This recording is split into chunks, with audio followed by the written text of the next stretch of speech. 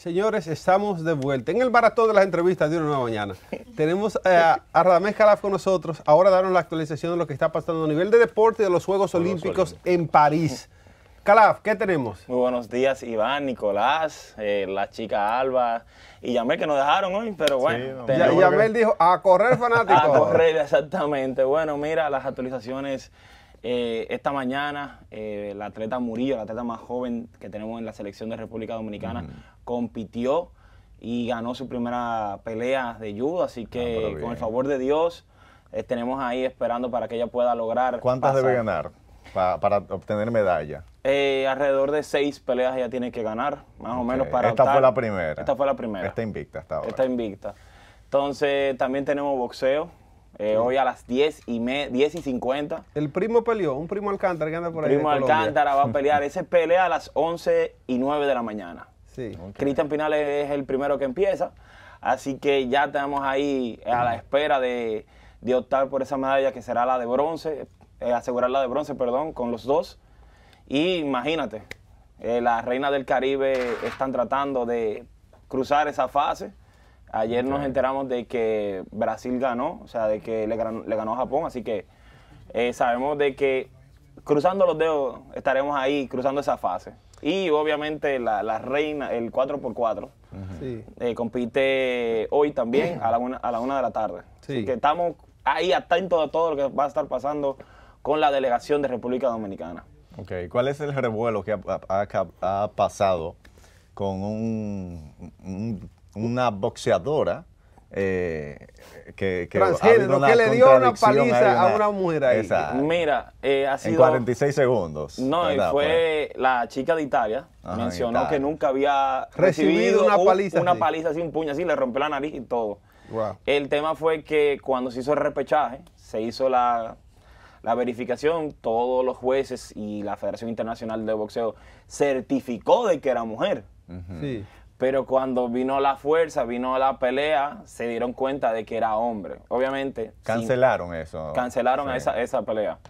Pero sin ofender a, a- a las personas transgéneros, eh, la- las boxeadoras mayormente se ven como hombres, o sea, no tienen pecho, tienen mucha espalda.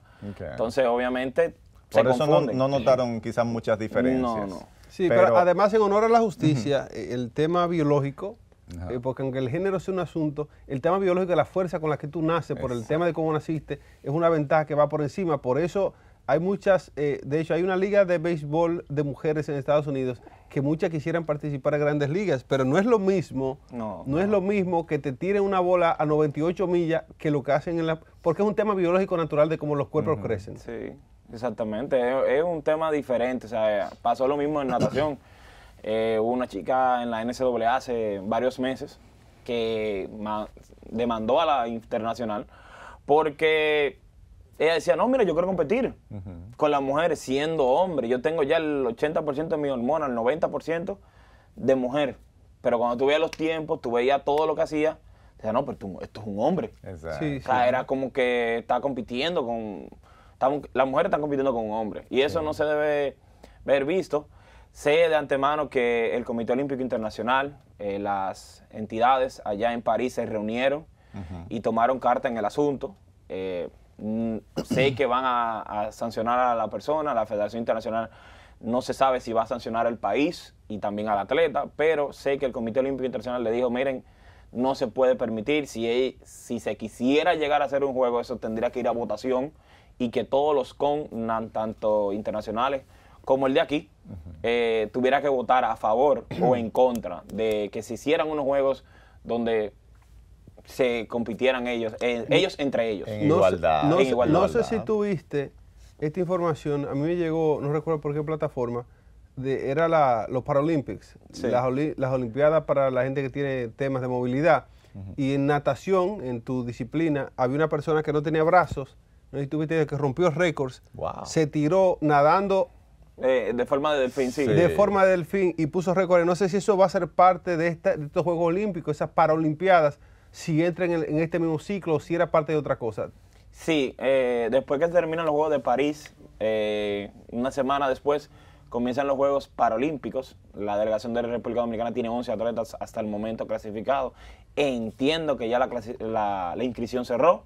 Sí. Y nada, ya a la espera. Tenemos atletas desde para, para, para levantamiento de pesas, Sí. eh, para taekwondo, para natación, para ciclismo. O sea, que tenemos un gran grupo de atletas que van a estar representándonos en esa especialidad y también allá en París. O sea que la, la, la Olimpiada termina literalmente como el 31 de agosto. O sea, con todo lo que abarca mm, eh, normal y, y personas discapacitadas. Sumamente interesante. Nosotros, Calaf, no hubiésemos tenido la oportunidad de venir aquí luego de la inauguración.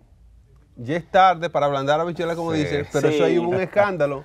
Sí. Explícame cómo te pareció a ti la apertura de, de esos juegos. ¿Tú lo quieres de la parte de mi persona o como reportero? Porque son dos cosas totalmente. Dame un dos por uno. Exacto. Ok, mira, de la parte como mi persona entiendo de que eh, se le faltó el respeto a la Olimpiada.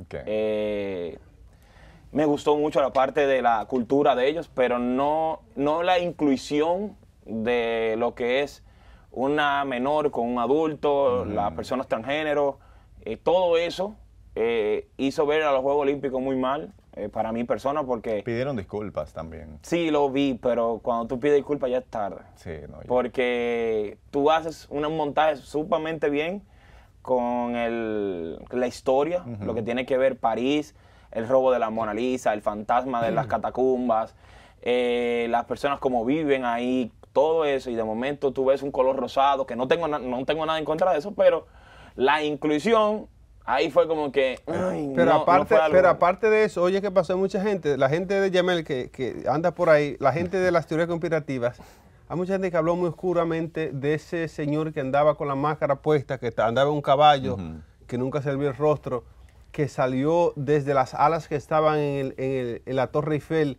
iba caminando hacia un toro, una cabeza de toro de oro que había sobre... La gente se está yendo versión, ya tú sabes, futurística. futurística, no de apocalíptica Sí, Ay, mi apoyado. madre. de lo que esto fue y se ha castigado muy duramente a este tema de las Olimpiadas. Obviamente hubo un desacierto de cierta forma del montaje. Se hizo de hecho un buen esfuerzo porque sea una ruta abierta, que se diga toda la historia francesa. Se le puso encima de sopita, dicen aquí a eso. Sí. Pero, pero mucho más. Sin embargo, Demasiado. sin embargo, fue una gran presentación que allí se produjo. Sabemos ya que el tema de las sensibilidades que hay de, de- de varias facciones en la humanidad, la gente que apoya una cuestión y que apoya a la otra, inmediatamente se encrispan cuando no es lo que ellos apoyan. Pero ese es el mundo de hoy y por eso es un mundo libre porque podemos comunicarlo. Calaf, tus redes, redes de tu, de tu programa para que la gente sepa lo que está pasando. Bueno, síganos en Aqua Sport en Instagram. Eh, vamos a estar pendientes. Clavado ya empieza eh, esta semana con Jonathan Rubalcaba, Victoria Garza Garza y Frandiel Gómez, que ya los chicos están en París, ya eh, con las pilas puestas para Grabando lograr- video para enviar a una mañana. Claro que sí, ¿no? Y que buscando, hablé con, con, con Jonathan y me dijo que está preparado para lo que va a ser su, su gran actuación, así que esperamos que él pueda pasar a la final y, ¿verdad? Con el favor de Dios, lograr una medalla, primera medalla histórica, ya que él viene haciendo historia en el clavado y que sea asimismo ahora cierre con broche de oro el ciclo olímpico.